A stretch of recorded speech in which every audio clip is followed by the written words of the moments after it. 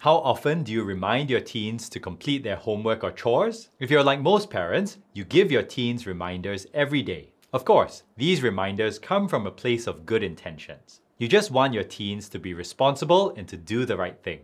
But frequent reminders actually make teens more irresponsible. That might be surprising to you, so let me explain. Imagine that you remind your teens to do their homework every day. You've essentially taken over the responsibility from them to remember to complete their assignments. That's why I like to say, if you remind, you're responsible.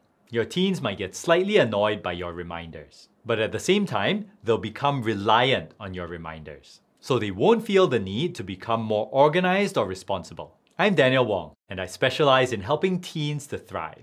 Now here's the problem with reminders. The more you remind, the more dependent your teens become on your reminders. And before you know it, you've got disorganized teens who can't keep track of anything without you reminding and micromanaging them. This makes it hard for your teens to develop crucial life skills. If teens don't have the opportunity to manage things on their own, it will be hard for them to become responsible adults. If you're finding this video helpful so far, please click the like button. And please subscribe to my YouTube channel so you don't miss out on future videos about helping teens to thrive.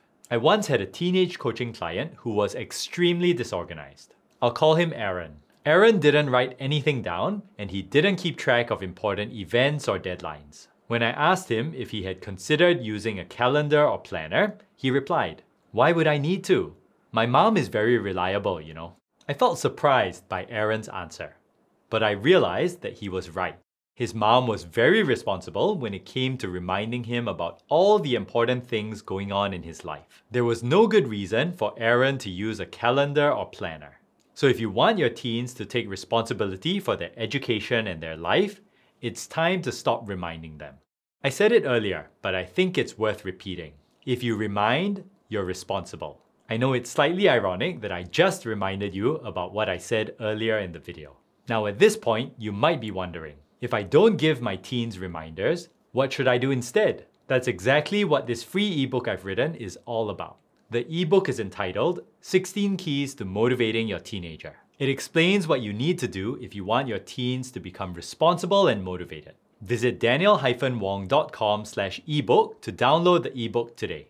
Make sure to put all the letters in lowercase. I've also included the download link in the description below. And here's this other video I've created about how to get your teens to listen to your advice. In the video, I'll share with you the one powerful phrase you need to use. You'll find this video useful, so watch it next.